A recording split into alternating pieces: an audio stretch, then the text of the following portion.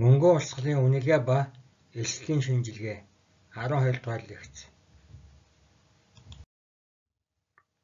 Агуулга 1. Төслийн ерөнхий тойм 2. Төслийн шинжилгээ 3. Мөнгөн урсгалын шинжилгээ хийх үед анхаарах зарим зүйлс 4. Төслийн эрсдлийн үнэлгээ 5. Тусгаалan авсан эрсдлийг хэмжих 6. Капиталын бүтцийн ялгаа Түүний нөлөө 7. Капиталын төсвөлтөд эрсдлийг хамааруулах нь.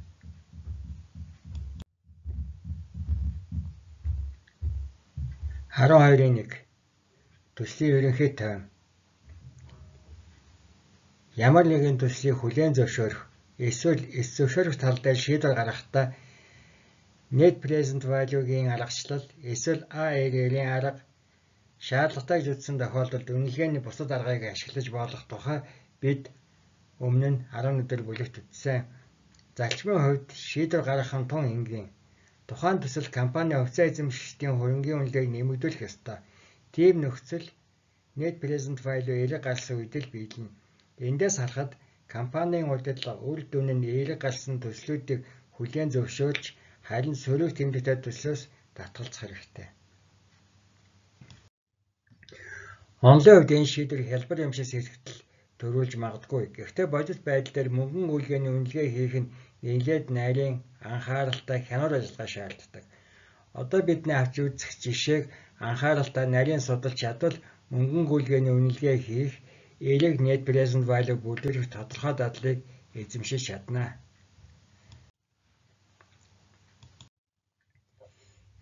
Шин төслийн капиталын төсвөлтийг Атланта мужид үйл ажиллагаа явуулдаг технологийн үйлдвэрлэл эрхэлдэг Brand Quigley Corporation компани жишээн дээр хийж үзэх болно. BQC компани ахуй хэрэглээний аюулгүй байдлын хяналт гүйцэтгэдэг жижиг оврын компьютер үйлдвэрлэдэг. Тэр компьютер нь орон сууцны халаалт, дулаан, агаарын цэвэрлшүүлэлт, усны халаалт, мөн цахилгаан пэшин, ус бусалгагч зэгийн аюулгүй ажиллагааг хангадаг. Одоо үйлдвэрлэх гэж байгаа шин загвар нь урдынхаас илүү сайжилж зах зээл дээр борлуулалт нь илүү байна гэсэн тооцоо хийжээ. Ингэснээр орон нутгийн зах зээл дээр ийм төрлийн бүтээгдэхүүнээрээ давуу байдлыг олж авна гэсэн олж авна гэсэн зорилготой.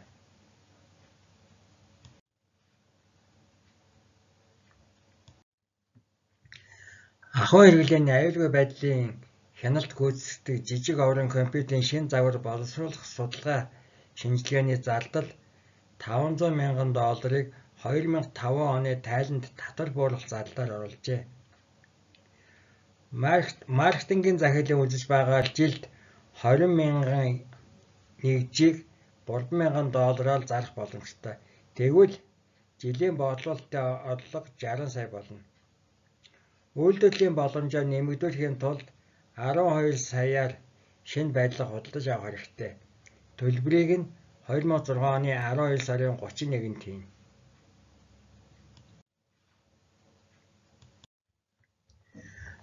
Татвар ногдуулалттай холбогдуулан Макерсын 39 жилийн ашиглалтын хугацаатай үндсэн хөрөнгийн илэгдэл байгуулах журмын дагуу илэгдүүлнэ. BQC компани мэдвэл шинэ төсөлд ашиглах боломжтой хуучин байдлага уг нь байгаа. Гэхдээ аль нь ашигтай вэ гэдэг тал дээр бас нарийн судлах хэрэгтэй. 2006 онд шаардлагатай санаа тохиромжийг худалдан авч суйлуулна. Төлбөрийг нь 2006 оны 12 сарын 31-нд хийн. Энэ танаа тохиромжийг Макалсын 5 жилийн ангилалд хамааруулна. Тээвэрлэлт суйлуулалтын задлыг шингээс өөртөх нь 8 сая доллар.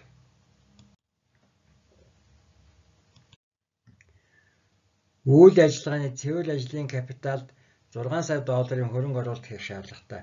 Төлбөрийг нь бас 2006 оны 12 сарын 31-нд хийн энэ хөрөн оруулалтын нөхөн төлбөрийг төслийн хугацаа дуусах сүүлийн өдөр хийн. Төсөл 2007 оны 1 сараас хэрэгжих бөгөөд хугацаа нь 4 жил 2007-оос 10 он хүртэл. 2010 оны эцэст байрны зах зээлийн үнэлгээ 7.5 сая доллар. Харин энэ үед бүртгэлийн үнэлгээ 10.91 сая доллар. Тоног төхөөрөмжийн зах зээлийн үнэлгээ 2 сая доллар, бүртгэлийн үнэлгээ 136 сая доллар.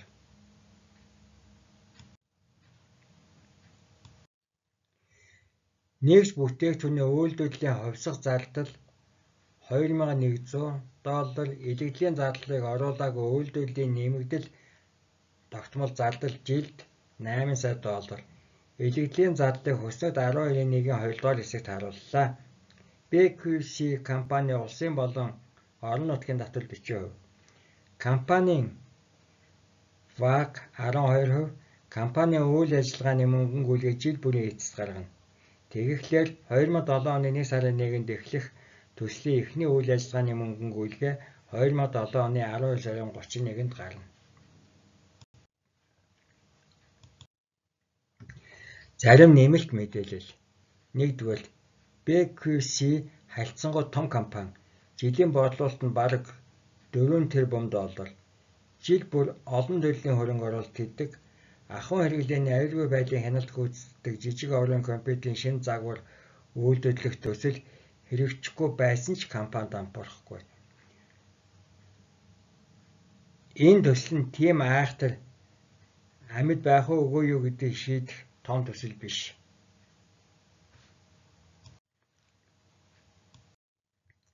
Хоёрдугаар хэрэг төслийг хүлээн зөвшөөрвөл гэрээний үргээ биелүүлж 4 жил түншүүдтэйгээ хамтарч ажиллана. Гуравт нь төслийн өгөөж нь BQC компани бусад төсөлтөй бас нийт эдийн засгийн таатай орчин бүрэлдэхүүн үед хөрөнгийн биелжийн үйл ажиллагаатай эерэг хамааралтай байх юм.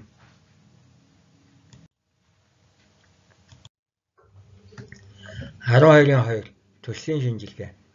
Капиталын төсвөлтийг төсвөлтийг төслийн шинжилгээг Excel дээр хүснэгт байгууллагын хэвэл илүү тохиромжтой байдаг. Үүнийг яаж хийж болох гэдгийг хүснэгт 12.1-ийн хэсэг 1-ээс 5-аар харууллаа. Хүснэгт 12-ийн 1 дээр байгаа загварыг 5 хэсэг хувааж болно. 1-дүгээрт мэдээллийг оруулах, 2-т элэгдэл байгуулах хуваарийн хүснэгт, 3 үлдэгдэл үлдэхийн тоосоолол, 4 төсвөлсөн мөнгөнгүүлгээ, 5-д нь төслийн үнэлгээ.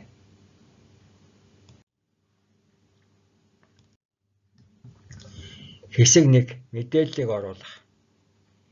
Мэдээллийг оруулах хэсэгт шинжилгээнд ашиглагдах үндсэн өгөгдлүүдийг харуулв. Өгөгдлүүдийн зарим нь үйл ажиллагааны явцад өөрчлөгдөх боломжтой, зарим нь өөрчлөгдөхгүй хэвээр байна. Жишээ нь 20 мянган нэгжийг 3 мянган доллараар зарна гэсэн нөхцөл нь янз бүрийн хүчин зүйлээс хамаарат хэлбэлцэх боломжтой. Харин 40% татвар төлнө гэдэг нөхцөл нь өөрчлөгдөхгүй хэвээр байна. Хэрэг борлуулалт зарлын төвшин төлөвлөсөн хэмжээнээс зөрөх юм бол ашиг мөнгөнгүүлгээ net present value зэрэг болон бусад үр дүнгийн үзүүлэлт таамагласан хэмжээнээс өөр гарна. Олцын өөрчлөлтөөс хамаарат үр дүн яаж өөрчлөлтийг бид дараагийн хэсэгт авч үзнэ. Хэсэг 2. Илэгдэл байгуулах хуваарийн хүснэгт. Илэгдлийг бид төслийн хугацаанд нийцүүлэн 4 жилээр байгуулна. 28-аас 31 дугаар мөрөнд барилгын мэдээллийг оруулав. 28 дугаар мөрөнд макросийн илэгдлийн хөв, 29 дугаар мөрөнд доллараар илэрхийлсэн илэгдлийн зардал. Анхны уртгийг суур гэж үзээд илэгдлийг байгуулав. 30 дугаар мөрөнд хоримтлагдсан илэгдэл, 31 дугаар мөрөнд жил бүрээр гаргасан бүлтгэлийн эцсийн үнэлгээ анхны уртгаас хоримтлагдсан илэгдлийг хасч гаргасан дөнгө харуулв. Яг ийм мэдээллийг тоног төхөөрөмжийн хувьд гаргаж 32-оос 35 дугаар мөрүүдэд харууллаа.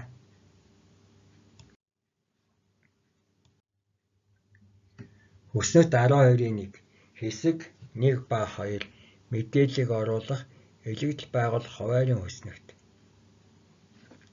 За Excel дээр дараах байдлын мэдээллийг оруулсан хэсэг 1 мэдээллийг оруулах. За энд барилгын өртөг, тоног төхөөрөмж, үйл ажиллагааны ажлын капитал, эхний жилийн борлуулалт, нэгжийн тоогоор өсөлтийн хувь зарагдах нэгжээр нэгжийн борлуулах үн, нэгжийн хувьсах зардал, тогтмол зардал гэд түрүүн өгөгдсөн өгөгдлүүдийг энд ингээд зоогоод өглөө. D17-оос D24-т. За дараа нь байдлын зах зээлийн үнэлгээ 2010 онд 7500 байна гэсэн, тоног төхөөрөмжийн зах зээлийн үнэлгээ 2000 татвар 40%-тай ВАК 12%. За инфляцийг бол энэ дээр тэгээр авсан байгаа. Хэсэг 2 Илэгдэл байгуулах хүснэгт. За илэгдэл Баялагын илэгдэл байгуулах хувь нь 2007 онд 1.3, 8 онд 2.6, дараа нь дахиад 2.6, дараа нь дахиад 2.6. Энэ сүүлрээ шулуун шугам аргаар явж байгаа учраас баялагын илэгдлийн зардал за нөгөө илэгдэл байгуулах дүнгээ дэлдээчлийн хуваар үгээр гаргачихсан байгаа 156, 312, 312 гэдэг. Хоримтлагдсан илэгдлүүдийг Е 30 дугаар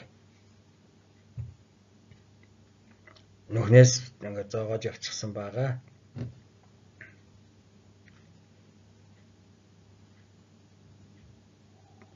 За дараа нь бүртгэл бүртгэлийн эцсийн үнэлгээ анхны өтгөөс хоримтлагдсан илэгдлийг хассан дүн. За жишээ нь 2007 онд 11844 гарч байна. Дараа нь тоног тохиромж илэгдлийн хувь. За энэ дээр жил болгон нөгөө Макл сар бот хуцал өөр өөр байгаа. 7 онд 20 хувиар, 2008 онд 32 хувиар, 9 онд 19, 10 онд 10 хувь, 12 хувь. Жил болгон өөр өөр илэгдлийн хувьтай. За тоног тохиромжийн илэгдлийн зардал нь 1600, 2560, 1520, 960. Хоримтлагдсан илэгдэл За 1600 энэ дээр 2560 болж ирнэ. Тэгэхээр 4160 гих метр хоошоо гаргасан. Бүртгэлийн эцсийн үнэлгээ анхны үлтгэс хоримтлагдсан илэрдлийг гарсан дөнгөд байж байгаа. За энд D26 дээр А гэж тэмдэглэсэн байгаа. За тэнд элэгдэл байгуулах хувьдыг элэгдэл байгуулах суурьаар үйлжүүлж Жишээ нь байдлага 12000, тооны төхөөрөмж нь 8000. Тухайн жилийн илэрхийллийн задлыг тооцсон. Хэсэг 3. Үлдэгдэл үйлдэхийн тооцоолол. Энэ хэсэгт бид компани нь байдлага тооны төхөөрөмжийг ашиглаж эхэлснээр бий болох мөнгөн урсгалуудыг харууллаа. 42 дугаар мөрөнд хүлээгдэж байгаа зах зээлийн үнэлгээг 4 жилийн дараа зарах үнээр нь гаргасан. 43 дугаар мөрөнд 4 жилийн дараах баланс эрх бүртгэлийн үнэлгээг хэсэг 2 тооцсноор харуулав. 44 дугаар мөрөн хүлээж байгаа ашиг алдаг зах зээлийн үнэлгээ болон баланс эрх бүртгэлийн үнэлгээний зөрүүгээр үзүүлсэн.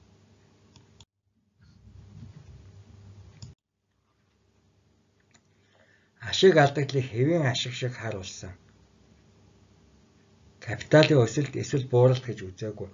Ашиг олбол татвар төлөх үүрэг хүлээн Харин алдагдaltaа бол татрыг зээлийн хөрөнгө ашиглаж байгаатай эзлэр хүлээн авна. Ашигтай эсвэл алдагдaltaа байсан ч татрын хэмжээ болох 40%-аар үлжүүлнэ. Үйл дөнгөн 45 дугаар мөрөнд харуулав. Татвар төлсний дараах мөнгөн урсгалыг 46 дугаар мөрөнд үзүүллээ. Энэ нь үндсэн хөрөнгөний зах зээлийн үнэлгээнээс татварын өрийг хассан харин зээлийг нэмсэнтэй тэнцв. BQC компани барилгын бодлуулалтаас 8863 сая долларыг харин тоног төхөөрөмжийн борлуулалтаас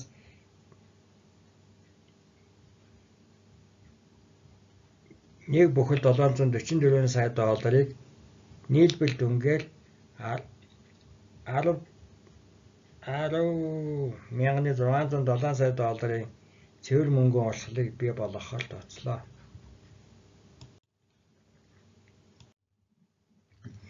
Өснөрт 12-ийн 1 хэсэг 3 үл төлөлтгийн тооцоолол.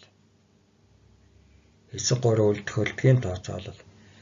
Зах зээлийн үнэлгээ 2010 онд байдлаа 7500 тоног төхөөрөмж 2000.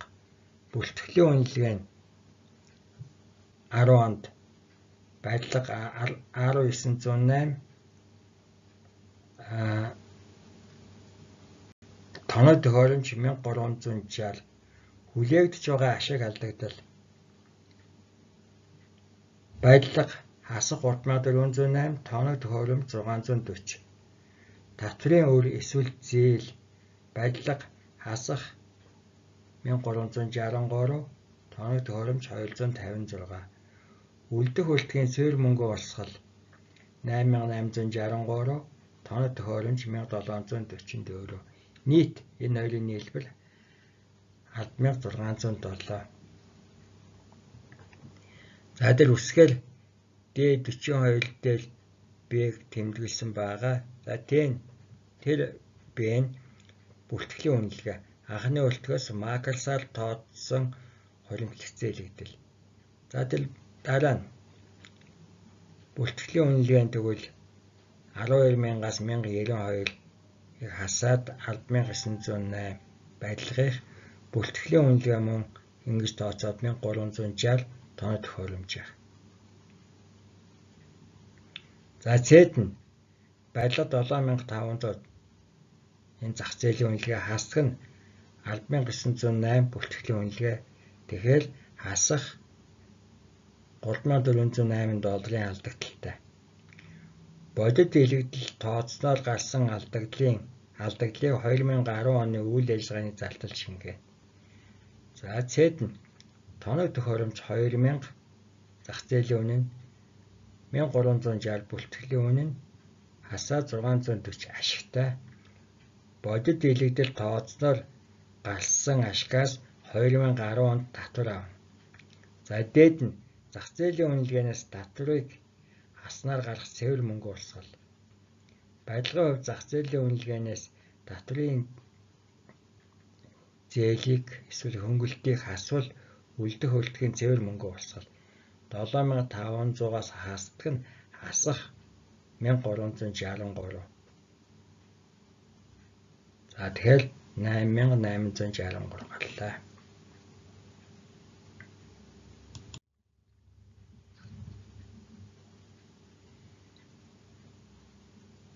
1 2 3 дугаар хэсгүүдэд өгсөн мэдээллийг ашиглан төслийн таамаглаж байгаа мөнгөн гүйлгээний урсгалыг гаргаж болно. Ингэхийн тулд тэгдэх жилээс 2006 дөрөвдөг жил хүртэл 2010 нийт 5 хоног авна. Тэгдэх жилийн мөнгөн урсгалуудыг хасах тэмдэгтээ бүгд зардал буюу гарах мөнгөн зардал.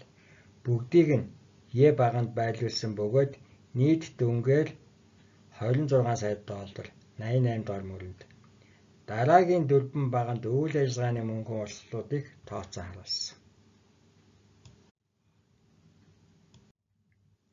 Бид хүснэгтийн эхнээсээ бодлуулах нэгжийн тоог жилд 20 мянган нэгжийг бодлуулна. Дараа нь нэгжийн бодлуулалтын үн, бодлуулалтын нийт орлого, нэгжийн тоогд нэгжийн үнээр үйлчүүлнэ. Тооцож үзүүлсэн галсан дөнгөөс хувьсах зардал 20 мянгыг үлддэг нь 2100 тэнцүү 42 мянган долларыг хасна. Үйл ажиллагааны тогтмол зардал барилга тоног төхөөрөмжийн илэгдлийн задлыг хасч хүү татрын өмнөх ашиг ийг олсон. Энд хүүний задлыг хасахгүй яагаад гэвэл дискаунт тооцсон мөнгөн гүйлгэн шингэсэн. Харин татврыг хасна 40%-аар тооцож. Дараа нь татврын дараах үйл ажиллагааны ашиг үлднэ.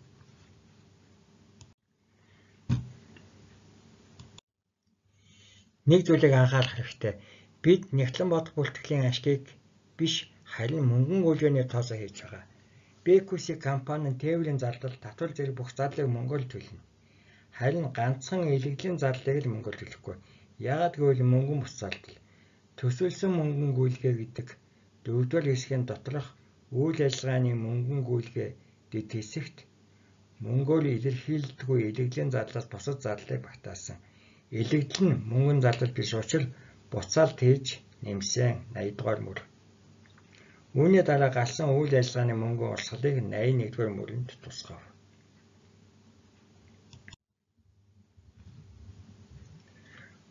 Хүснэгт 12-ийн 1 хэсэг 4 төлөвлөсөн мөнгөн урсгал. За хэсэг 4 төсвөлсөн мөнгөн урсгал. За галсан хөрөнгө оруулалтуудаа 2000 он буюу тэгдэх жилээр харуулсан. За хөрөнгө оруулалтад нь гарч байгаа зардал учраас энэ үзүүлэлтээ дандаа хасах тоотой байгаа. За үйл ажиллагааны мөнгө орсгол бодлуулалт нэгжээр 20 мянга гэсэн жилбэл нэгжийн бодлуулах хүн 3 За тэгэхээр бодлуулалт энэ хоёрын үйлчил байна 60 мянга хувьцаа зардалтай төлөв тооцсон 42 мянга жил бүр тогтмол залбал үйл ажиллагааны за бүгдэндээ л 8000 галцсан байгаа. За илэгдлийг түрүүн тооцсон учраас ил тоонуудаа барилга тоо төхөөрөмжийг хоонд нь халдуулаад бичлээ. Хүү татлын өмнөх ашиг бодлуултаас энэ зарлуудаа хасаад галж байгаа. Үйл ажиллагааны ашигын давтар. За эндээс бид 40% л татвар тооцож байгаа. Татрын дараах үйл ажиллагааны ашиг Нопат яг олсон. За дараа нь илэгдэл мөнгөөр гараагүй зарлал усаас илэгдлээ буцаад дэмжигсэн байж байгаа. За тэгэхээр үйл ажиллагааны мөнгө урсгал галж байна. За ингээд тооцоо хийхээр 2007 онд 6702 дараа нь 7149 дараа нь 6733 6509 гарлаа. Эцсийн жилийн мөнгө урсгал цэвэр ажлын капиталын буцаалт за тэгэл биегээ тэмдэглэсэн байгаа тайлбарыг доор биччихсэн. За тэгэхээр эцсийн жилийнх гэж байгаа учраас нөгөө төлслийн сүүлийн хугацаанд хамгийн сүүлийн баганд бичнэ гэсэн үг. За 6000 цэвэр үйлдвэрлэх нь 7607 За эцсийн жилийн нийт мөнгө уулсгал энэ сүүлийн 2 тооны нийлбэр байгаа 166,607. За төсөлсөн мөнгө уулсгийн цаг хугацааны шурууныг дэл зоох тоонуудыг оруулъя. За тэгэхээр дээрээс тоонууд буужилж байгаа бүгд нийлбэрээр за хасах 26,000 дараа нь 6702 7149 6733 За энэ сүүлийн хулгай хэлбэл дунд дахиад тоо нэмэгдэж олж ирнэ. Тэгэхээр 23166 галлаа. За энэ дээр бид нөгөө нөхөн төлөгддөг хугацаа тооцдог харгаараа залдал дээр орлогоо нэмээд галсан дөнгүүдийг харуулсан байгаа. Жишээ нь хасах 19 соёл зээлнэ гэх мэт явсаар байгаа дөрөвт хичээлд 17700 нэмэх тоо болж байна.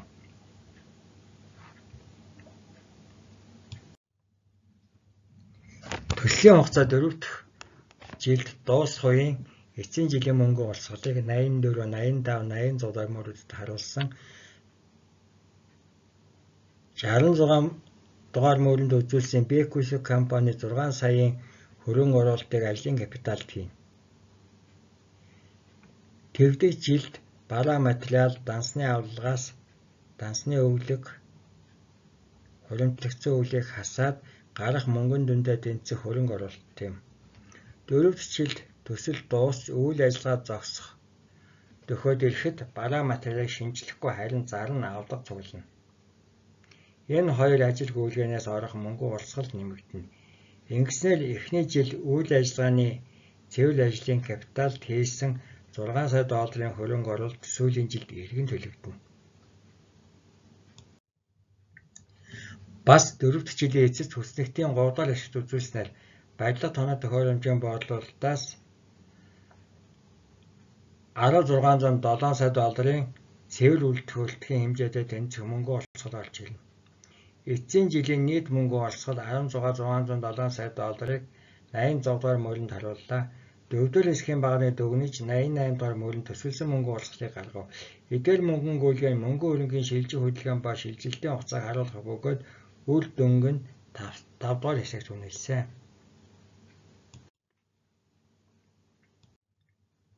Хэсэг 5. Санал болгож байгаа төслийн үнэлгээ. Санал болгож байгаа төслийн үнэлгээ гаргасан 5 дугаар хэсэгт шийдвэр гаргахад ашигладаг шалгууруудын тооцоог 88 дугаар мөрөнд үүссэн мөнгөн гүйлгээндээ үндэслэн хийлээ. Net present value ALL мил нөхөн дөрөвт хугацаа зэрэг. Өснөт 12-ийн 1 хэсэг 5 санал болгож байгаа төслийн үнэлгээ. За net present value-г 12% байх үед тооцсон. Тэгэхээр 5166.18 ALL нь 19.33%-тай, мил нь 17.19%, нөхөн дөрөвт хугацаа 3 бүхэл 234 гарлаа. BQC компани гол анхаарлаа net present value-г үзүүлэлтэд хандуулах ёстой. Манай тооцоогоор энэ үзүүлэлт эерэг гарсан учраас хүлээн зөвшөөрөх боломжтой боллоо. Бас ARL мил шалгуураар гарсан үр дүн нь ВАК-ийн 12%-аас их гарч байгаа нь хүлээн зөвшөөрөх боломжтой гэдэгт давхар баталлаа. Нөхөн жилийн хугацааны тооцоололоор 323 жилийн дараа хөрөнгө оруулалтын зардал нөхөдөн гэж гарсан. Бүх шалгуур үзүүл сайн гарсан учраас төслийг хүлээн зөвшөөрөх нь зүйтэй гэсэн шийдвэр гарна.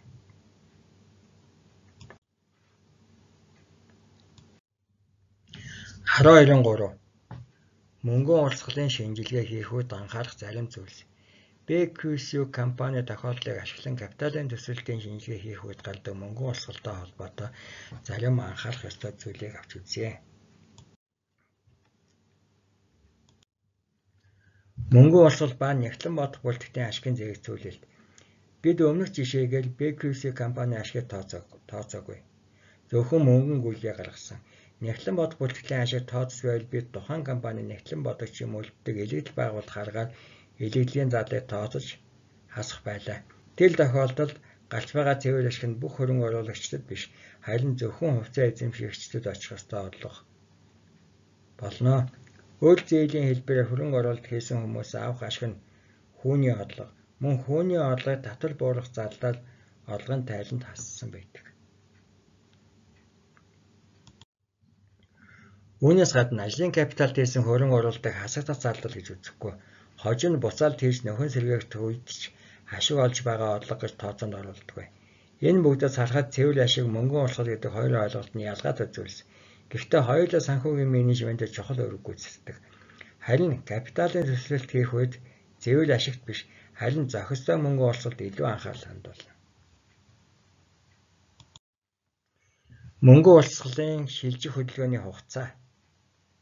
Нягтлан бод бүртгэлээ гаргадаг орлого зарлагын тайлан жил, хагас жил удирж гэсэн тодорхой хугацааг л хамаардаг учраас яг хизээ ямар үед мөнгө орлого олсон эсвэл задлага гарсныг нарийн тусгадаггүй мөнгөн урсгалыг өдөр бүр тооцож сайлан гаргах нь илүү үр дүнтэй байх боловч өртөг өндөлтөд тусна.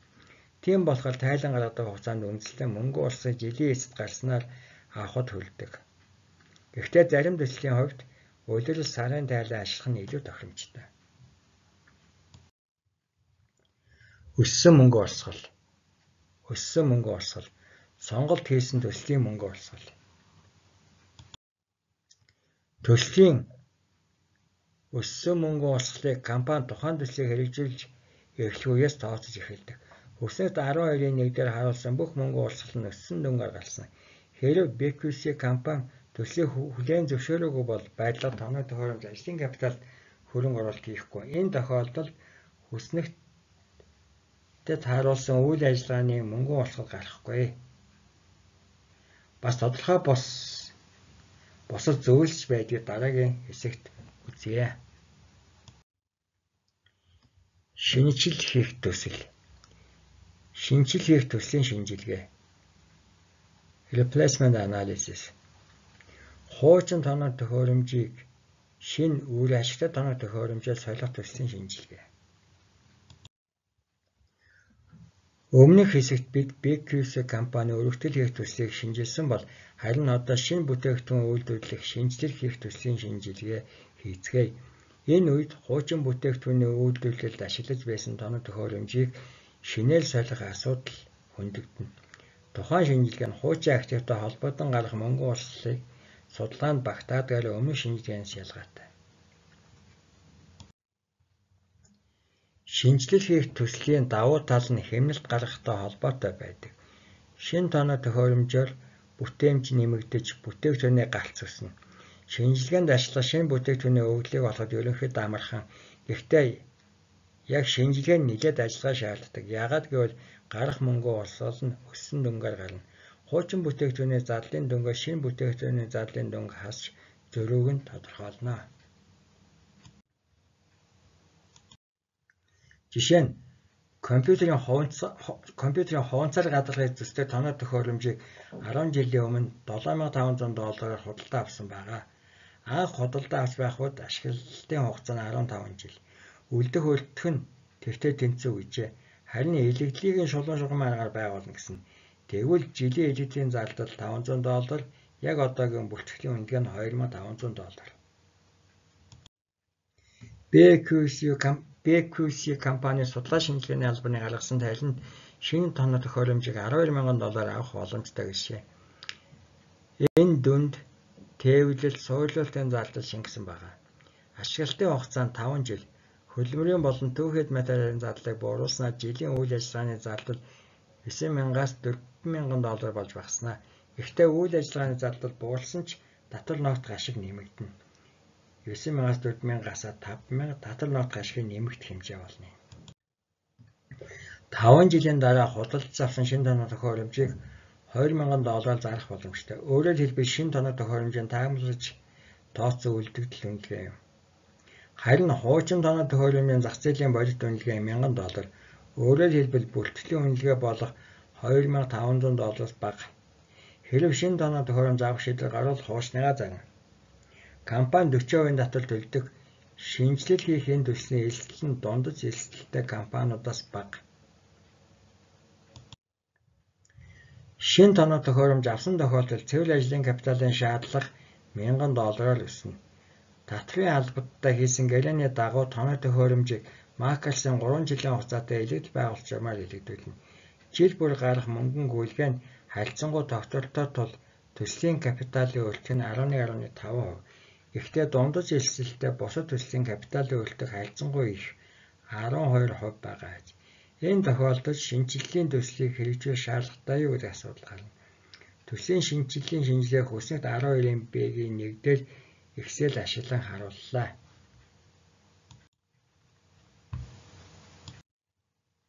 Хүснэгт 12-ын Б-гийн 1 төслийн шинжилгээний шинжилгээ.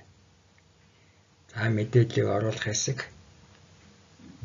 За шинэ тоног төхөөрөмжийн үйл ажиллагааны зардлын хэмнэлт 5000 шин тоног төхөөрөмжийн үйлдвэрлэх 5 дахь жилийн эцэст 2000 хуучин тоног төхөөрөмжийн зах зээлийн үнэлгээ 1000 хуучин тоног төхөөрөмжийн бүртгэлийн үнэлгээ 2500 үйл ажиллагааны ажлын капиталын өсөлт 1000 татвар 40%, баг 11.5 1150%. Макерсын 3 жилийн хугацаанд үндсэн хөрөнгө илэгдэл. За, илэгдэл байгуулах хувьд нь эхний жил 33, 2-т 45, 3-т 15, 4-т 7%. За илэгдлийн зардал за нөгөө анхны үлдгээ үлжүүлээ гаргачихж байгаа 3960, 5400, 1800, 840.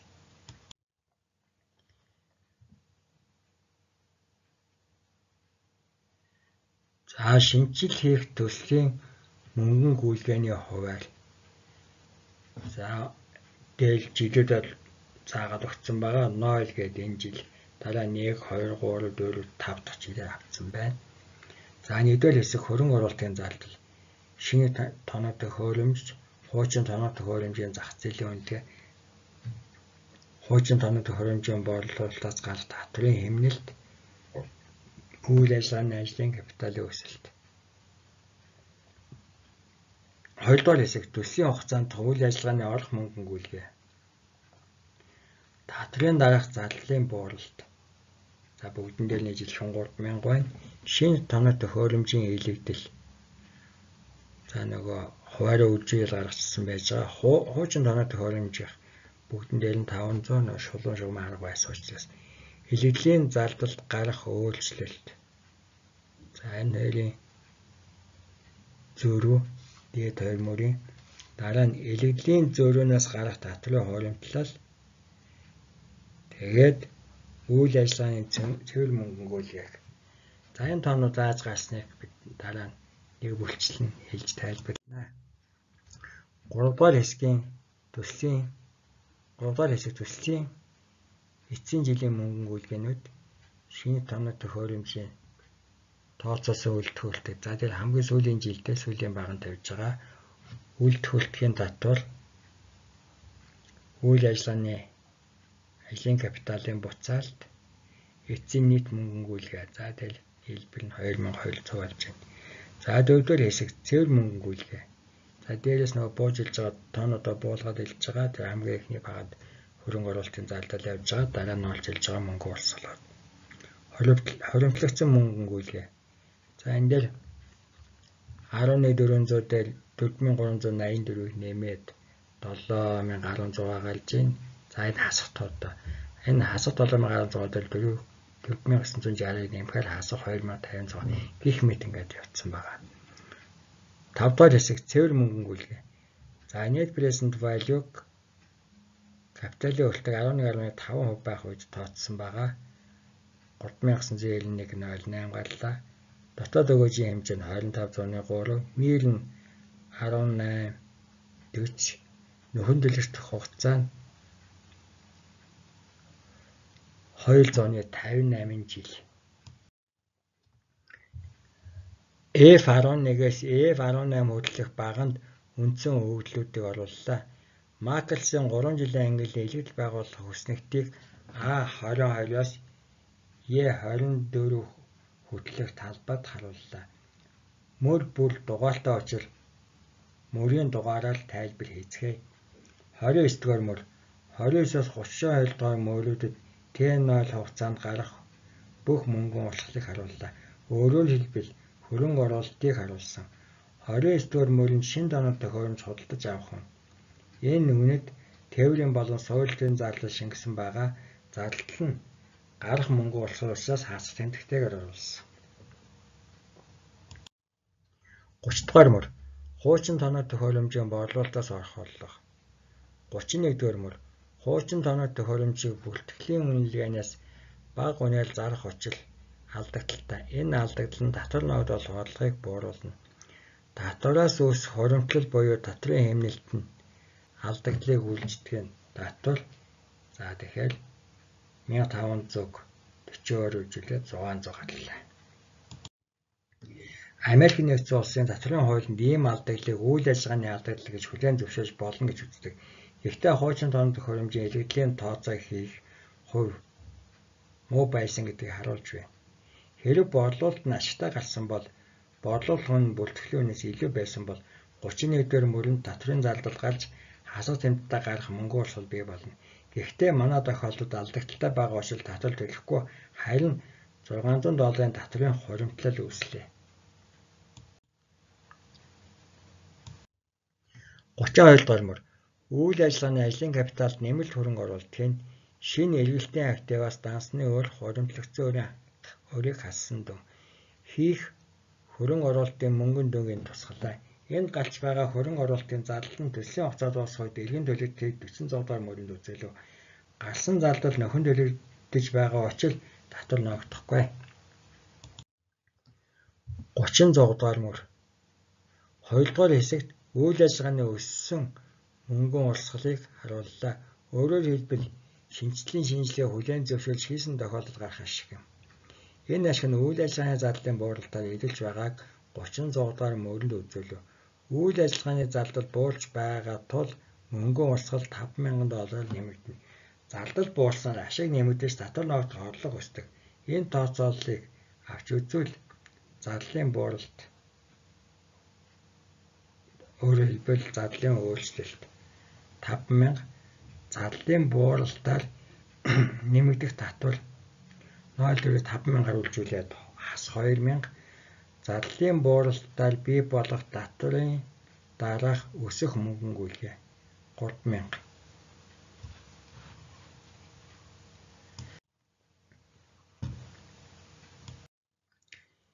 Шинжилгээний төслийг хэрэгжүүлснээр бодлуулалт төсч зардал буурна.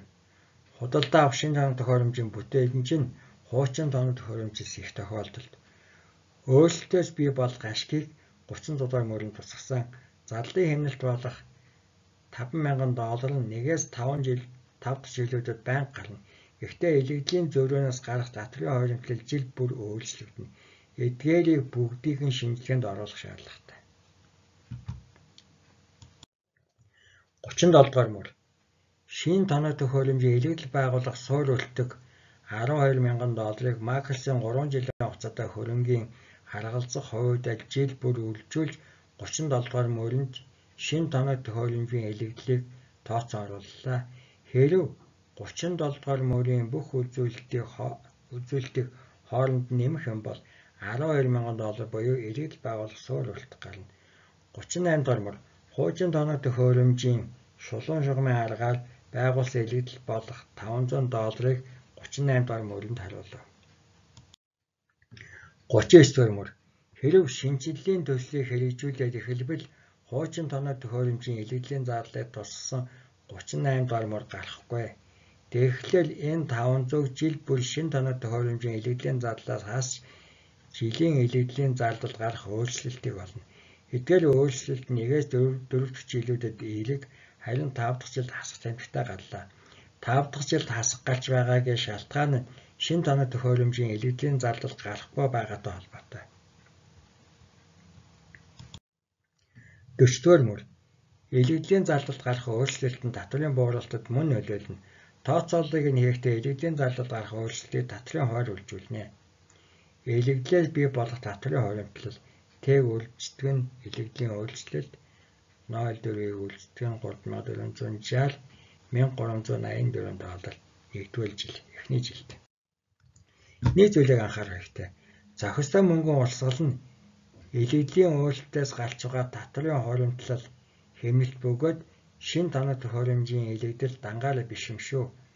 Капиталын төсвөлөлтийн шийдвэрийг өссөн мөнгөн урсгал дээр үндэслэн гаргадаг. BQC компани хуучин тоног төхөөрөмжийг шинээр солисноор илэгдлийн зарлаас 500 долларын алдагдал хүлээж байгааг тооцоонд оруулах хэрэгтэй. 41-р мөр үйл ажиллагааны цэвэр мөнгө улсыг төслийн 5 жилийг хамруулан жил тус бүрээр харууллаа. Тооцооллыг нэртэй татлын дараах зарлалын буурал дээр илэгдлийн зөрүүнөөс гарах татлын хоримтлалыг нэмсэн. Өөрөөр хэлбэл 36 дугаар мөрийн үзүүлэлттэй л 40 дугаар мөрийг мөрийн дөнгө нэмсэн. 44 дугаар мөр 3 дугаар хэсэг нь төслийн эцсийн жилийн мөнгөн урсгалуудыг багтаасан. Шин тоног төхөөрөмжийн тооцоолсон үлдэх хөлтөг 2000 долларыг 44 дэх мөрөнд харуулжээ. 45 дугаар мөр. Шин тоног төхөөрөмжийн бүртгэлийн үнэлгээ 5 дахь жил тэгтээ тэнцв. Энэ үед компанийн төлөх татвар 2000-ыг үлддэг нь 0.4 800. 46 дугаар мөр. Т тэг байх үед цэвэр ажлын капитал 1000 долларын хөрөнгө оруулалт хийсэн Энэ хөрөнгө оруулалт нь 5 төсөлийн эцэст эргэн төлөгдөх ёстой. Өөрөөр хэлбэл дансны авлага цугларна бүх нөөцийг залж бодлуулж дуусгах нь. Т тэнцүү 5 дээр орох мөнгө уулзал нь 1000 доллар. 47 дугаар мөр. Төсөл дуусгын эцсийн нийт мөнгө уулзлыг харуулав. 49 дугаар мөр.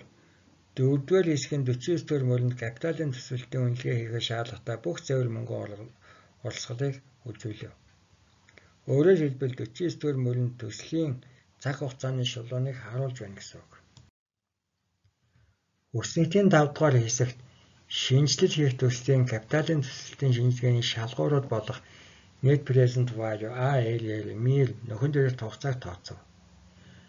Тухайн төслийн эрсдэл дундаж төслийн эрсдлээс бага тул капиталын өртгийг 11.5% авсан.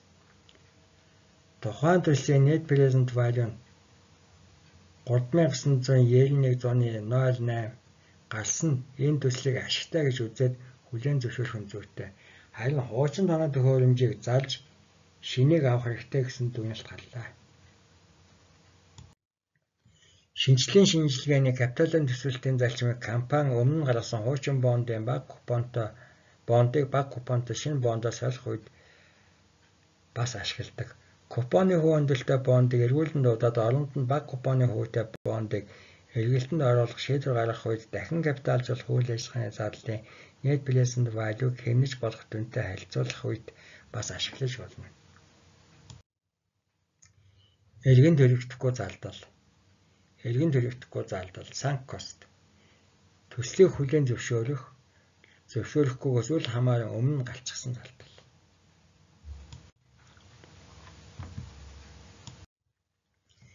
Капиталын төсөлд хийх үедээ бид ирээдүйн өсөн нэмэгдэх мөнгөн урсгалд урсгалд анхаарлаа хандуулна. Өөрөөр хэлбэл шинэ хөрөнгө оруулалтын өсөн нэмэгдэх мөнгөн урсгал нь дараагийн хөрөнгө оруулалтын шаардлагыг хангахад хүрэлцээтэй байж чадах уу гэдэг асуулт. Эргэн төлөгдөхгүй зардал нь төслийн хүлээн зөвшөөрөх зөвшөөрөхгүйгээс үл хамааран өмнө гарчсан учраас капиталын төсвөлтийн шинжилгээний зохистой мөнгөн урсгалд орохгүй. Өөрөөр хэлбэл хамаагүй гэсэн үг. 2005 онд Bakeries компани компьютер шин төслийн шинжилгээнд 500 мянган доллар зарцуулсан. Энэ нь төслийг зөвшөөрөх, эс зөвшөөрөхөөс үл хамааран өнгөрсөн хугацааны зардал юм. Өсөлт 12.1-ийн 5 дугаар хэсэгт net present value 5166 175 Судалгаа шинжилгээнд гаргасан 500 мянган долларыг зарлалаар төслийн шинжилгээнд буруу оруулсан ч net present value эерэг гарна. Харин одоо судалгаа шинжилгээний зарлыг 600 мянга байлаа гэе. Алдсан боломжийн өлтөг. Алдсан боломжийн өлтөг. Opportunity cost. Сонголт хийгээгүй төслөөс авч болох байсан боломжт өгөөч. Дараагийн нэг асуудал нь сонголт хийж болох байсан гэхдээ сонгоогүй алдсан боломжийн өлтөг байдаг. Энэ нь урд өмнө компанид байсан гэхдээ төсөлд ашиглаагүй активуудын бий болгож байгаа мөнгөн үйлгээ юм. BQS компани жишээг эргээ санацгаая. Төслөөс өмнө үйл ажиллагааны үйл ажиллагаанд тогтворцсон бизнес явуулдаг өөрийн байртай компани юм. Гэхдээ төслийн хүрээнд шинэ байр авахар шийдэж байгаа. Шинэ байр авч нэм зардал гаргахгүйгээр хуучин байдлыг ашиглах боломж бас байгаа. Хэрэг тэгвэл байдлыг авах зардал 12 сая доллараар хэмэгдэнэ. Ингэсэн тохиолдолд хүснэгт 12-ийн 1-дээр тооцсон net present value нь 5166-аас их гарах магадлалтай. Энэ үед шинэ байдлаатай холбоотой мөнгөн үйлгээ шинжилгээнээс хасагдаж хуучин байдлын ашиглалтай холбоотой мөнгөн зарлууд нэмэгдэнэ. Компьютерийн шинэ төсөлд ашиглаж болох байсан хуучин байдлын татврын дараах зах зээлийн үнэлгээ 13 сая доллар гэ. Тэгвэл төслийн алдсан боломжийн өгөлтөг 13 сая гэсэн үг. Гадаад олчны нөлөө. Гадаад олчин externality Төслийн мөнгө олсод тусгадаагүй гэхдээ компанид эсвэл байгаль орчинд гарах янз бүрийн нөлөөлөл. Каннибалчлалын нөлөө. Өөр газар, өөр нөхцлөөр компанийн бий болгож чадах байсан мөнгөн олсголыг бууруулах нөхцөл байдал.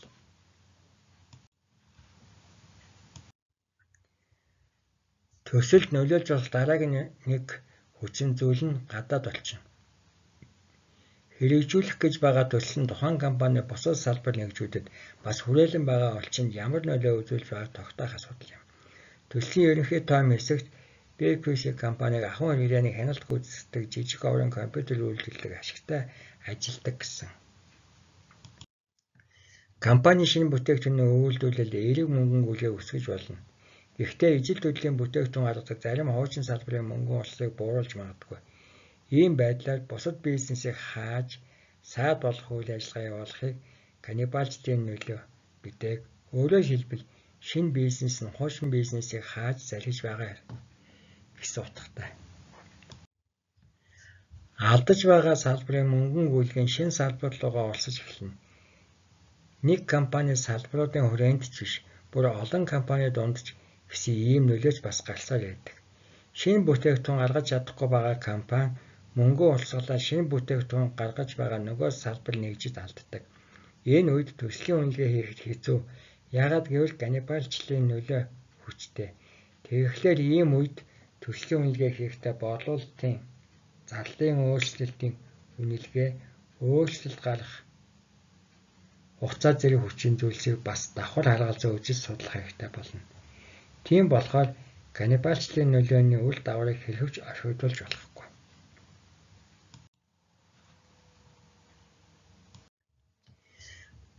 Гадаад орчны нөлөөг нөлөө ээлэгч бас сөрөгт байж болдгийг анхаарах хэрэгтэй. Жишээ нь BQC компани цахилгаан бэшингийн цех өндөр үнэтэй битүү зуух үйлдвэрлэдэг. Гэтэл төсөл хэрэгжүүлж байгаа туршилтын цехийн тэл зуухыг сайжруулад ашиглахад амархан болголоо гэв. Ингэснээр борлуулалтын тоо хэмжээ нэмэгдэнэ. Борлуулалтын өсөлтөөр нэмэгдэж байгаа мөнгөн урслын зарим хэсгийг нь цахилгаан бэшингийн цехэд зарим нь Заримыг нь туршилтын цэхэд хамаатуулна. Туршилтын цэхийн хэрэгжүүлж байгаа төлсийн net present value сөрөг гарч үйлдвэрлэл үргэлжлүүлэн явуулах мөнгөн олсголыг бий болгож чадахгүй байвал төслийг зогсоод хүрэх тохиолдол гарч болно.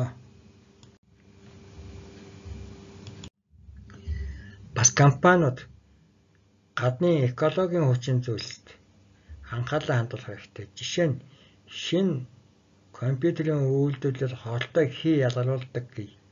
Тэр нь засгийн газрын хэмжээнд шийдэх асуудал болоогүй.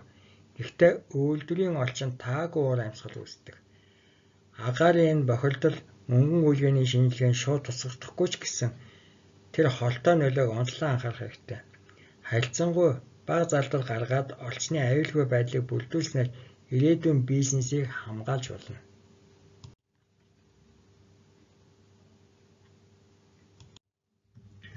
12-ын 4 төлслийн элсдлийн үнэлгээ. Тусгаал авсан авсан элсдэл Standalone risk.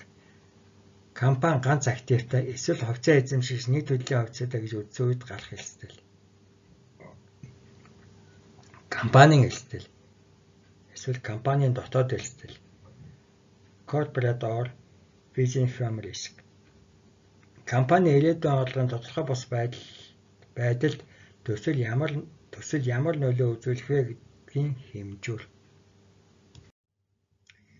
Зах зээлийн буюу бета эрсдэл. Диверсификац хийснээр таран байлшихгүй, буурахгүй эрсдэл. Эрсдэл ихтэй төслийн капиталын үлдгийг ихээр тогтоодог боловч төслийн яг эрсдлийн үнэлгээ гаргах төвөгтэй байдаг. Бид эрсдлийн гурван төрөлд анхаарлаа хандуулж байгаа. Нэгдүгээр тусгаалan авсан элсдэл төслийн ийм элсдэл нь Ад нь компани портфель зөвхөн нэг төрлийн активтай, Б нь хөрөнгө оруулагчийн портфель зөвхөн нэг компани хувьцаа байгаа гэж үздэг. Тусгаалan авсан элсдлийн тогтворгүй байдлыг төслийн хүлээгдэж байгаа өгөөжөөр хэмжинэ. Хоёрд нь компани элсдэл, компанийн дотоод элсдэл. Компанийн портфельд байгаа активын зөвхөн нэг нь тухайн төсөл гэж үздэг. Энэ төлөвийн эслэлийг компани өөрөө диверсификац хийж тарайн байршуулах боломжтой. Компанийн эслэлийг компанийн ирээдүйн орлогын тодорхой бус байдалд эстэл ямар нөлөө үзүүлж байна гэдгээр хэмжинэ. Гуравт нь зах зээлийн буюу бета эстэл. Тарайн байршуулалт сайтай хөрөнгө оруулагчийн үзэж байгаагаар Төсөл нь компани олон активын зөвхөн нэг нь. Компани хувьцаанд томоохон портфелийн бүрэлдэхүүнд багтаж байгаа багахан хэсэг нь гэж үзэж байх үеийн эрсдэл. Компанийн бета компанийн бета коэффициентэд төсөл ямар нөлөө үзүүлж байна гэдгээр зах зээлийн эрсдлийг хэмждэг. Тусгаалan авсан эрсдэл ихтэй төслийг хүлээн зөвшөөрөх үү эсвэл компани эрсдэл ихтэйг нь хүлээн зөвшөөрөх үү гэдгээс компанийн бета хамаардаггүй. Гэхдээ төслийн ашигын тодорхой бус байдал өндөр компанийн бусад активтай хамаарал ихтэй мөн бусад компаниудтай ч хамааралтай бол эрсдэл нь их байна. Жишээ нь General Motors компани өргөтгөл хийж жижиг оврын онгоц үйлдвэрлэх боллоо гэе. Онгоцыг олноор үйлдвэрлэх үгүй юу гэдэг дээр эцсийн шийдвэр гараагүй. Яагаад гэвэл энэ чиглэлийн үйлдвэрлэл явуулахад гарах тусгаалan авсан эрсдэл нь их бага. Компанийн удирдлага үзэж байгаагаар улс орны эдийн засаг сайн байх үед энэ төсөл илүү үр ашигтай гэж үзжээ. Яагаад гэвэл шинэ онгоц худалдаж авах мөнгөтэй хүний тоо нэмэгдэнэ.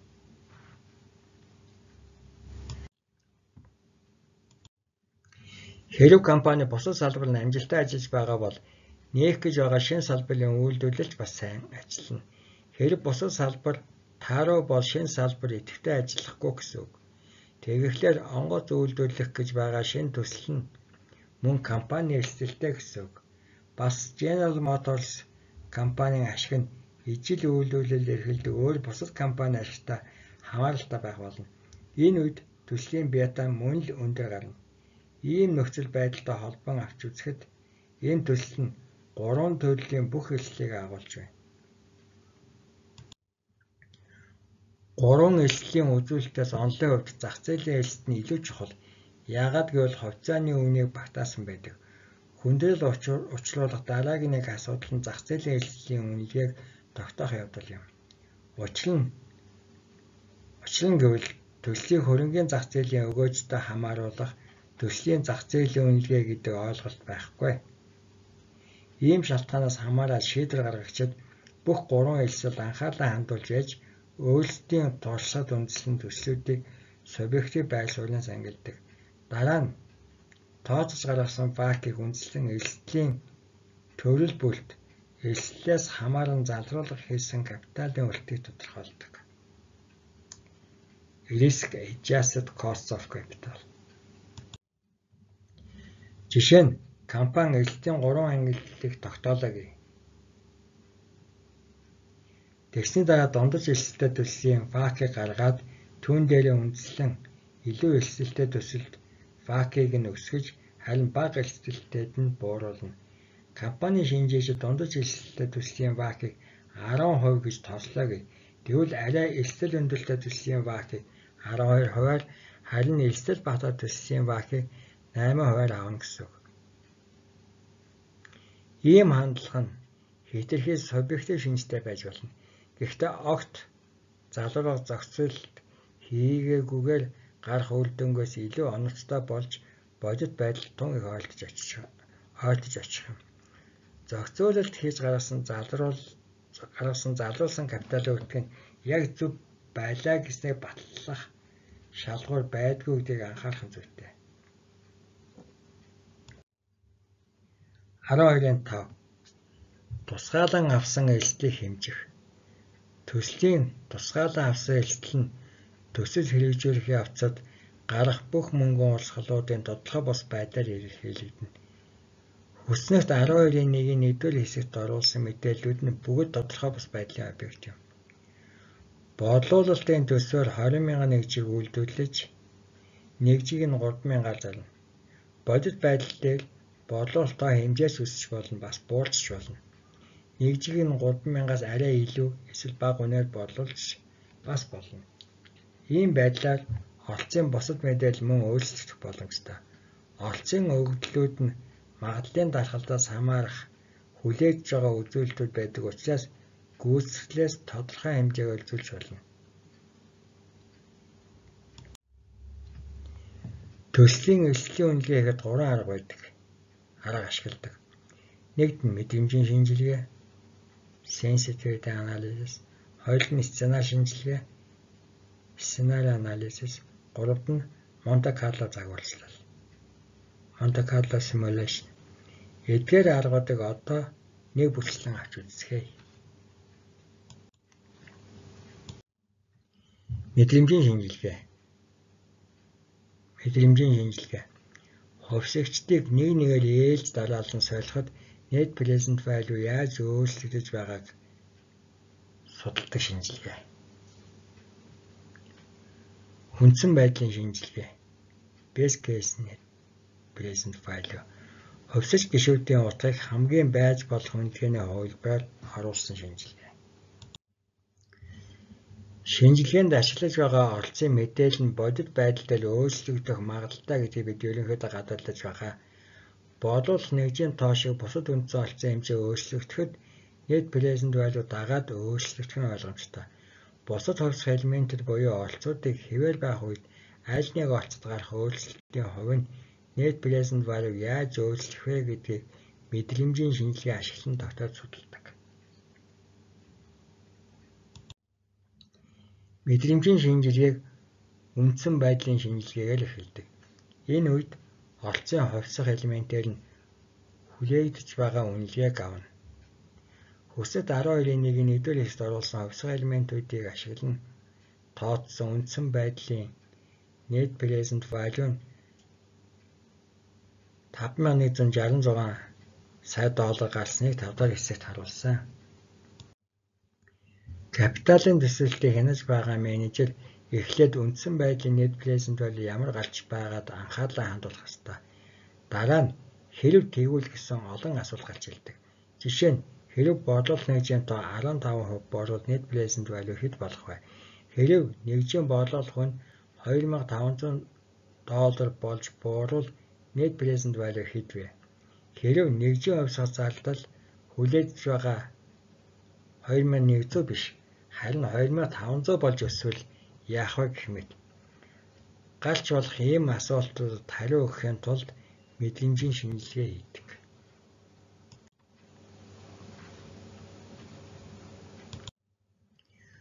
Бусад өгөгдлийг хэвээр үлдээгээд аль нэг хувьсгчийг хүлээж байгаа үзүүлэлтээр тодорхой ойр өсөх эсвэл бууруулах замаар үйлчлэнэ.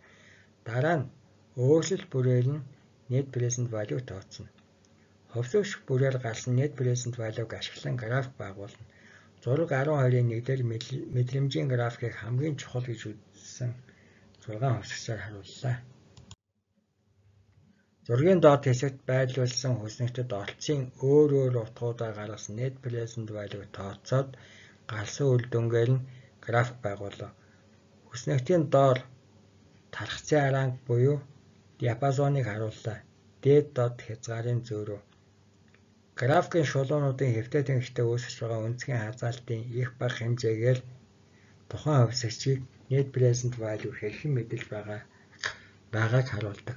Өнцөг их байвал net present value тухайн хувьсгчийг илүү мэдэж байна гэсэн үг. Графикээр харуулснаар net present value бодлуулалтын үнд ба хувьсгал зардалд гарах өөрчлөлтийг арай их хүчтэй харин өсөлтийн түвшин ба нэгжийн доо хэмжээс гарах өөрчлөлтийг харилцангуй хүчтэй мэдэж байгаа бол тогтмол зардал ба вакуум өөрчлөлтийг хамгийн бага мэдэлж байна. Зураг 12-ийн 1 элсдлийн үнэлгээ мэдрэмжийн шинжилгээ Хэвтэ тэнхлэр хэлбэлцлийн хувийг харуулсан босоо тэнхлэр net present value.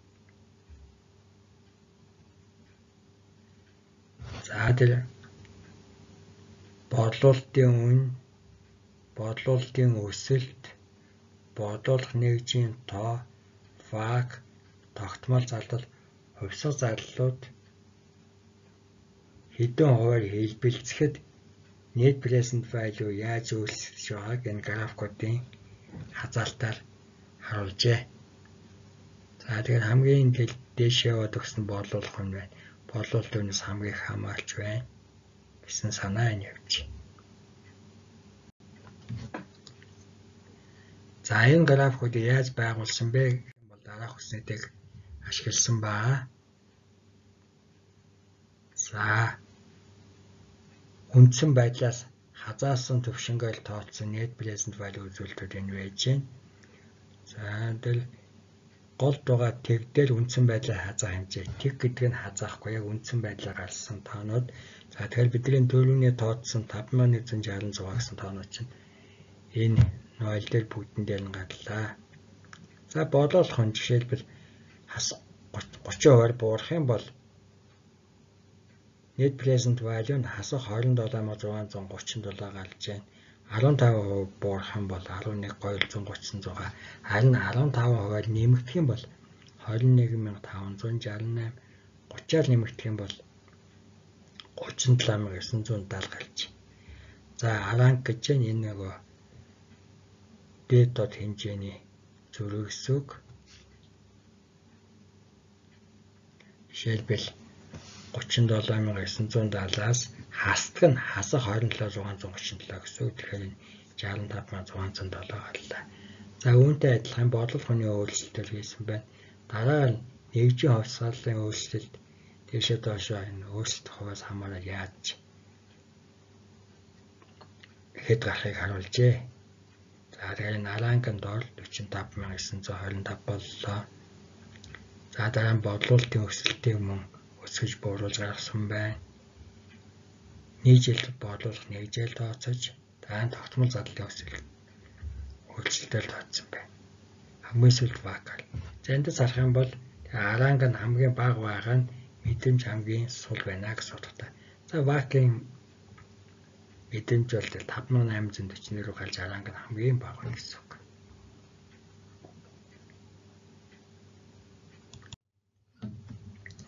Хоёул төслийг зэрэгцүүлэн судалж байгаа бол бусад олц нь хэвээр үед аль нэг хувьсгчийн мэдрэмжийн графикийн хэвтэй тэнхтэй үүсэж байгаа өнцг нь их бол эрсдэл ихтэй гэсэн үг. Тэгэхлээр тухайн хувьсгчийн сонголтод гарах том баг алдаа нь нийт нийт present value гажуудуулах магадлал өндөр. Энэ судалгаанаас харахад мэдрэмжийн шинжилгээний төслийн эрсдлийн талаар маш үнэтэй мэдээлэл өгч байна. Мэдрэмжийн шинжилгээг компьютерийн захим үсэгтийн дэлгэц ашиглан гүйцэтгэвэл илүү тохиромжтой. Бид Excel-ийн ажлын хүснэгт ашиглан net present value тооцоод гарсан үр дүнгээр нь үндэслэн график байгуулсан. Хэрв гараар эсвэл энгийн тооны машинаар ийм шинжилгээ хийсэн бол ажиллагааг шаардсан нэлээд төвөгтэй судалгаа болох байлаа. Оролцсон аль нэг хувьсагч том багаар өөрчлөгдлөөгүй. Жишээ нь тоног төхөөрөмжийн өртөг өөрчлөгдлөөгүй. Гараар гүйцэтгэж байвал бүх тооцоолыг дахиж хийхэд хугацаа ажиллагааг шаардна. Харин бэлэн байгаа томьёо оруулсан хүснэгтэл зөвхөн тухайн өгдлийг өөрчлөхөд бидний хүсэж байгаа шинжилгээний хариу хялбархан бодогдоод л гарна. Сценар шинжилгээ. Сценар шинжилгээ. Санхүүгийн сайн ба муу нөхцлүүдийг суур нөхцөлтэй харьцуулдаг эрсдлийн шинжилгээ. Үндсэн байдлын сценар. Хамгийн байж болох үнэлгээг л тооцсон сценар. Хамгийн муу байдлын сценар. Хамгийн муу үнэлгээгээр тооцсон сценар, хамгийн сайн байдлын сценар, хамгийн сайн үнэлгээгээр тооцсон сценар. Мэдрэмжийн шинжилгээ хийх үед бид зөвхөн нэг хувьсгчийг өөрчилж байсан. Ер нь бодит байдал дээр хэд хэдэн хувьсгчдад эсвэл бүх хувьсгчдад зэрэг өөрчлөлт оруулсан үед net present value ямар гарах вэ гэдгийг судлах нь бас чухал байдаг. Энэ үед net present value таамаглаж байснаас илүү сайн эсвэл бүр мууч гарч болно. Судалгаагаа бид хамгийн сайн, хамгийн муу үндсэн байдлуудын тохиолдож болох магадлалыг нь тогтоохоос эхэлнэ. Магадлалыг тогтоосны дараа нийт present value-гийн хүлээгдэж байгаа үнэлгээ стандарт хэлбэлцийг тодорхойлно. Сценар шинжилгээнд дараах өргөтгөлийг хийх боломжийг олгодог. Үндсэн хувьсгчдын өөрчлөлтийн магадлалыг тогтоох хэд хэдэн хувьсгчийг нэгэн зэрэг өөрчилж судалгаа хийх гэх мэт. Санхүүгийн шинжээч сценар шинжилгээг үндсэн байдлын сценарын судалгаагаар эхэлдэг. Үндсэн буюу суур байдлын судалгаанд хамгийн магадлал өндөртэй үзүүлэлтүүдийг ашиглана. Ингэсний дараа маркетингийн менежер үйл ажиллагааны бусад менежерийн тусалцаад байгаа галч болох хамгийн муу байдал бодлуулах нэгжийн хамгийн доод хэмжээ, бодлуулах үнийн бууралт, нэмэгдэж болох зарлалын үн, өртөг гэх мэт хамгийн сайн байдлын хувилбаруудыг тогтоож түүнд нийцэх мэдээллийг сонгоо авч шинжилнэ. Ихэнх тохиолдолд үндсэн байдлын магадлалыг 50%-аар харин хамгийн сайн ба хамгийн муу хувилбарт 27-25%-ийг хуваалцдаг. Магадлалын хуваалцалтын өөр хувилбарууд байж болохыг үүсэхгүй. Гэхдээ сценар байдлын ийм хуваалцалт хийснээр эрсдлийн шинжилгээний гол асуудлуудад илүү анхаарах боломж гардаг.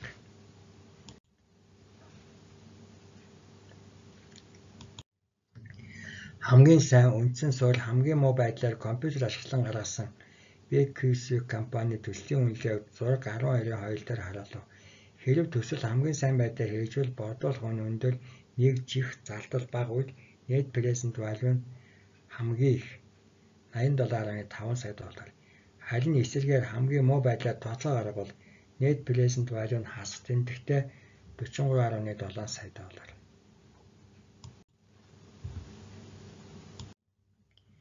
Графикээр харуулсаар магадлалын талхалтын харанг буюу диапазон нь их байгаа өөрөөр хэлбэл хэлэлтнийх ийм төслийг эсрэг өндөрлөлтэй гэж тооцох нь зөв. Хэрв энэ төслийн хэрэгжил тааруу байвал компанид хамруулахгүй. Яагаад гэвэл хяналтын компьютерийн энэ төсөл нь тухайн компаниар хэрэгжүүлж байгаа олон төслийн зөвхөн нэг гэдгийг мартаж болохгүй. Гэхдээ 43.7 сая долларын энэ алдагдлын алдагдал хувьцааны үнэт сөрөг нөлөө үзүүлэх нь тодорхой. Сценар бүрийн магадлалыг харгалзах net present value-гаар үргэлжлүүлж нийлбэрийг нь тооцвол төслийн хүлээгдэж байгаа net present value 13531 сая гарна. Үүнийг зураг 12.2-ын хөсөнтийн доод хэсэгт харуулав. Дараа нь net present value-гийн стандарт хэлбэлцлийг мөн тооцлоо 47139 доллар. 39 сая доллар. Стандарт хэлбэлцлийг хүлээгдэж байгаа net present value хувааж вариацийн коэффициентыг тодорхойлсон. 348. BQX компанидэр хэрэгжүүлж байгаа бусад төслийн дундаж вариацийн коэффициент 2 байгаа. Тэгэхээр энэ төслийн вариацийн коэффициент 348 гарсан явдал нь тухайн төсөл элсэл өндөртэй гэсэн үг. Зураг 12-ийн 2 элслийн үнэлгээ мэдрэмжийн шинжилгээ. За бид хоёр янзын графикийг авсан байгаа. Магадлалын график нөгөөх нь үргэлжилсэн магадлал. Босоод ингэлээр магадлалыг авсан. Хэвтэд ингэлээр net present value-г үзүүлдэг. За бид нар энэ графикыг байгуулахын тулд дээрх хүснэгтийг хийсэн. Хүснэгт нь сценаар магадлал борлуулах нэгж борлуулах нь хувьсах зардал net present value гал. За хамгийн сайнд магадлал 25% гэсэн борлуулах нэгж нь 26 мянга болно. Үүн нь нэмэгдээд 3-ийг хувьсах зардал буураад 147. Ингээд тооцохоор 87503 боллоо. Үндсэн суурьаар бид нар угаасаа тооцоогоо хийчихсэн байсан. Дөрөв.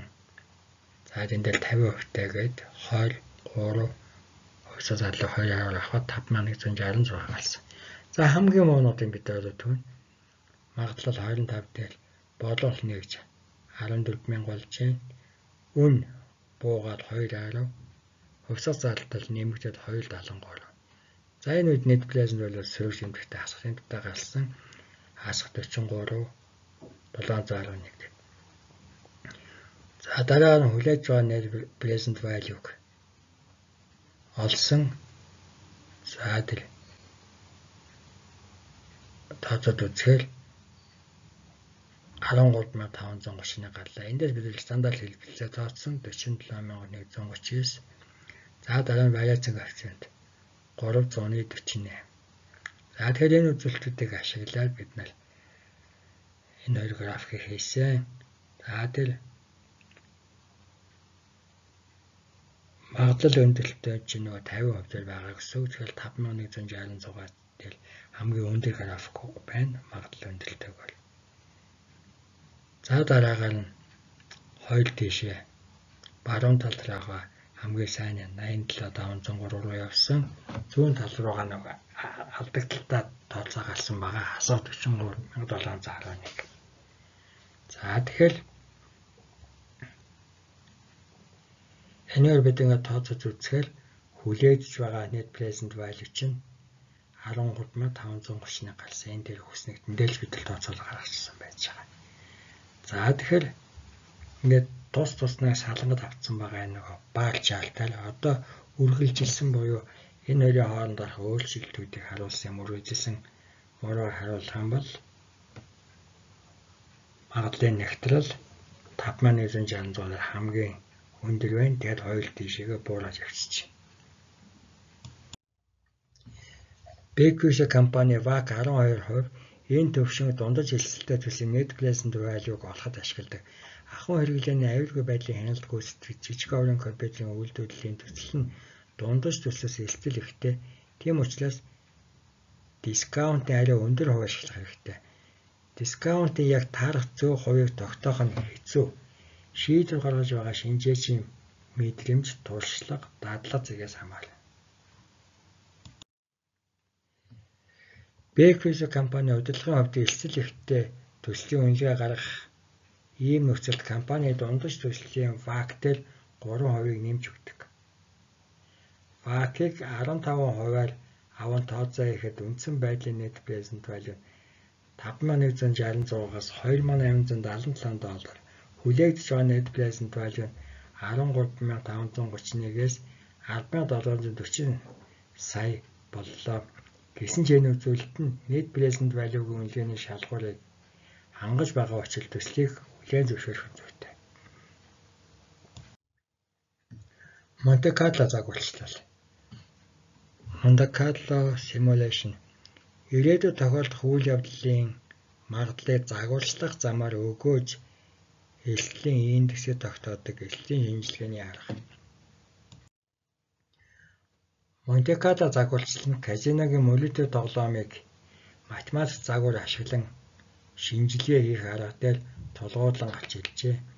Энэ шинжилгээг сценар шинжилгээний басны хувилбар гэж болно. Гэхдээ өгөгдөл сценарын тоон маш их сценар бүрээр тооцоолол хийгдэж хариу гардаг. Манай жишээг эргээд санацгаая.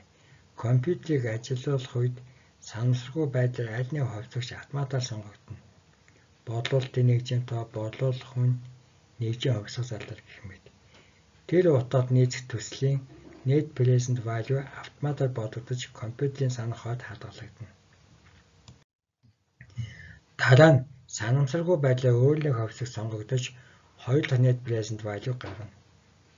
Ийм үйлдэл магадгүй мянган удаа давтагдсны дараа мянган өөр net present value гарна. Тэдгээрээс дундаж утга жигнэсэн капса дундчийн хазаалт net present value бүрэл тооцно. Төслийн хүлээж байгаа өгөөжийг төлөөлөх дундаж стандарт хэлбэгзэл вариатын коэффициентийг net present value-гийн хувьд гаргана. Энэ нь хэрэгжүүлэх гэж байгаа тухайн төслийн эслэлийг илэрхийлэх хэмжүүр болно.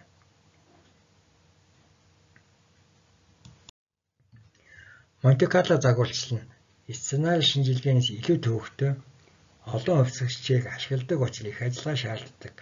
Гэхдээ компьютерийн програм хангамжийн багцыг ашигласнаар хянах боломжтой болжээ. Эдгээр багцууд нь үндсэн програмын боломжийг нэмэгдүүлж янз бүрийн хүснээр граф гаргадагаараа давуу талтай. Энэ загварчлал ашигтай бас хэрэгтэй. Үүнийг санхүүгийн агсан төвшний хөтөлбөрт илүү дэлгэрэнгүй авч үздэг.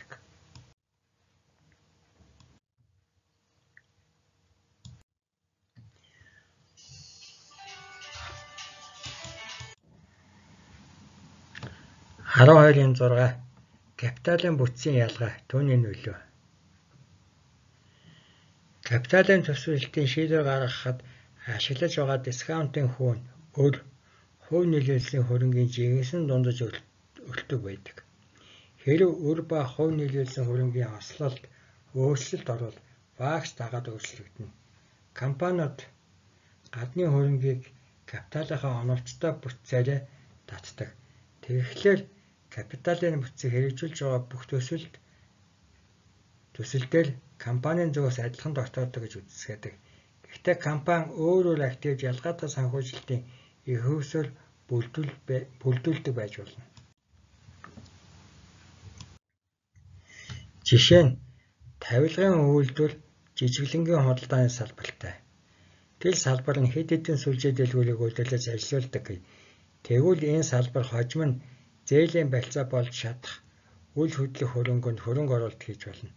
Харин үйлдвэрлэл эрхэлдэг салбарын үл хөдлөх хөрөнгө нь яг тодорхой үйлдвэрлэл зориулагдсан учраас барьцаа болж чадахгүй.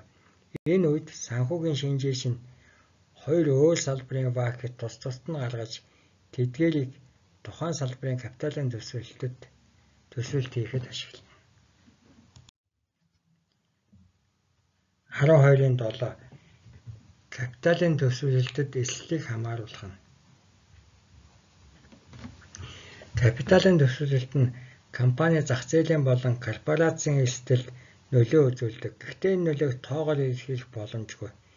Бид ямар нэг төсөл нөгөө нэг төслөөс илүү элсэлтэй гэж хэлж чадна. Гэхдээ тэр ялгааг ямар нэгэн тоон үзүүлэлтээр илэрхийлэх боломжгүй. Эндээс харахад эрсдлийг капиталын төсвөлтийн шийдвэр гаргах асуудал яаж хамааруулах нь цэвэр субъектив шинжтэй асуудал юм. Тодорхой эквивалент хандлага Элсэлтэй мөнгөн олсголтой дүүцэх галцаагүй төлөгдөх мөнгөний дүн. Тодорхой эквивалент хандлага хандлагыг ашиглахдаа бид тодорхой бос бүх мөнгөн улсыг тодорхой эквивалент болсголд хөрвүүлнэ. Өөрөөр хэлбэл шийдвэр гаргаж эрсдэлтэй мөнгөн улсыг тодорхой бас тодорхой бас баталгаатай мөнгөн улсгал болгоно. Жишээ нь хөрөнгө оруулагч хүлээгдэж байгаа эрсдэлтэй 100 мянган долларын мөнгөн гүйлгээ гүйлгээг баталгаатай 75 мянган доллараас солино. Тэгэхээр баталгаатай 75 мянган доллар нь эрсдэлтэй 100 мянган тодорхой эквивалент болж байна гэсэн үг. мөнгөн урсгалын элсэл нэмэгдийн хэрээр эквивалентийн тодорхой байдал нь сарниж бүрхэг эргэлзээтэй болдог. Капиталын төсвөлтийн үндсийг авч үзсэн өмнөх бүлэгт бид мөнгөн гүйлгээг таатаа гарах нөхцөлд нийцүүлэн тодорхой эквивалент хэмжээг нь бүх мөнгөн гүйлгээнээс эрсдэлгүй хүний төвшнгөөр дискаунт тооцож төслийн net present value-г тодорхойлж судалгаа хийсэн. Өмнөх судалгааны дутагдaltaй тал нь бид компанийн хувьцаа эзэмшигчдийн байр сууриас мөнгөн гүйлгээний тодорхой эквивалентийг үнэлээгүй. Шинжилгээнд ингэж гаргасан мөнгөн гүйлгээний тодорхой эквивалентийг ашиглаагүй явдал юм.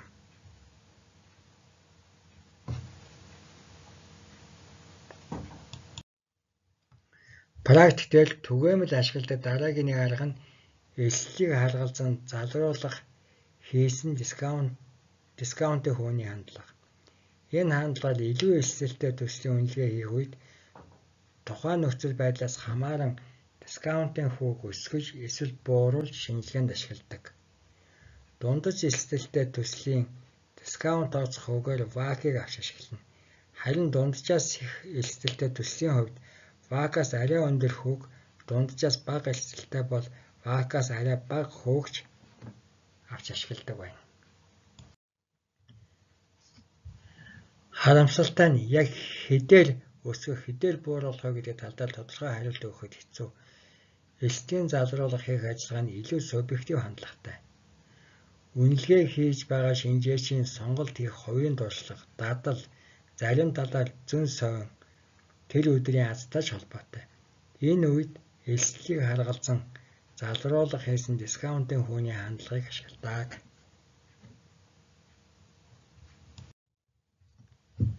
Анхаарал тавьсанд баярлалаа.